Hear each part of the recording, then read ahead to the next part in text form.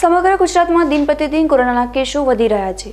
કોરોનાના આતંકને રોકવા આરોગ્ય વિભાગ ખડે પગે રહી દિવસ રાત કામ કરી રહ્યું છે અને સરકાર દ્વારા પણ કોરોનાથી બચવા કોરોનાના ગાઈડલાઇનનું પાલન કરવામાં કહેવામાં આવી રહ્યું છે.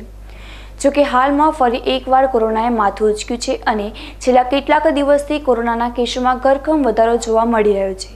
જેને ધ્યાને રાખી તંત્ર પણ હાલના તબક્કે કામમાં લાગી ગયું છે. તો આ તરફ બનાસકાંઠા જિલ્લામાં વધતા હતા કોરોનાના કેસોને લઈ જિલ્લા કલેક્ટર આનંદ પટેલે સુઈ ગામની ઓચિંતી મુલાકાત લીધી હતી. સુઈ ગામ આરોગ્ય કેન્દ્રમાં તેમને કોરોના વેક્સિન અંગે પૂછપરછ કરી હતી તેમજ જાતે જ જે જગ્યા પર વેક્સિનનું કામકાજ ચાલે છે ત્યાં પહોંચી જાતે જ વેક્સિનનો જથ્થો તપાસ્યો હતો. આ ઉપરાંત હોસ્પિટલમાં વેક્સિન લેવા આવનાર સાહીઠ વર્ષીય વૃદ્ધોને મળ્યા અને આરોગ્ય કેન્દ્રમાં ફરી પૂરતી સગવડો વિશે જાણકારી મેળવી હતી. આ મુલાકાત દરમિયાન જિલ્લા અધિકારીએ સુઈગામ આરોગ્ય કેન્દ્રના આરોગ્ય અધિકારીઓ સાથે કોરોના વેક્સિન અંગે રિવ્યૂ મિટિંગ કરી હતી. આ ઉપરાંત પિસ્તાળીસથી સાહીઠ વર્ષ વચ્ચેની વયના વ્યક્તિઓ માટે કોરોના વેક્સિન વિશે સૂચનાઓ મેળવ્યા હતા.